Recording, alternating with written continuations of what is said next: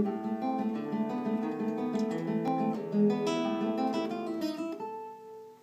heb een hele hoop te regelen, een heleboel te doen. Er hangt een lijstje aan de deur van de wc.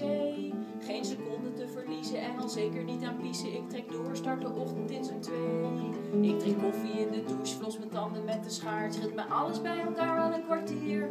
Ik spuit lak onder mijn oksels, ik spuit deo in mijn haar. Ik spuit de trap af en dat doe ik in z'n vier.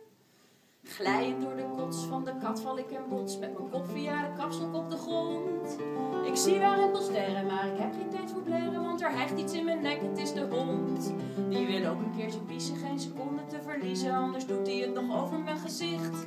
Snel de voordeur even open, kan het hondje even lopen, godverdorie. Zegt nou waait die deur weer dicht en ligt mijn sleutel binnen op mijn blote voeten. Ren ik achterom naar het balkon en klim via de vuilnisbak en regenpijp naar boven komt de dakgoed naar beneden. Hang ik half zeven in de zon, val in de regenton, ja. Snel weer op de benen om een ladder te gaan lenen. Overspannen bel ik bij de buren aan.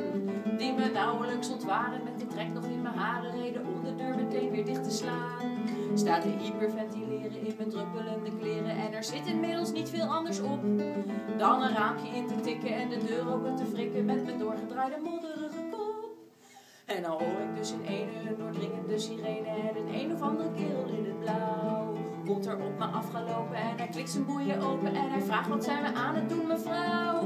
Dan word ik als een dief voor ik hoe of waar kan zeggen in de cel gegooid en zit ik uitgeblust.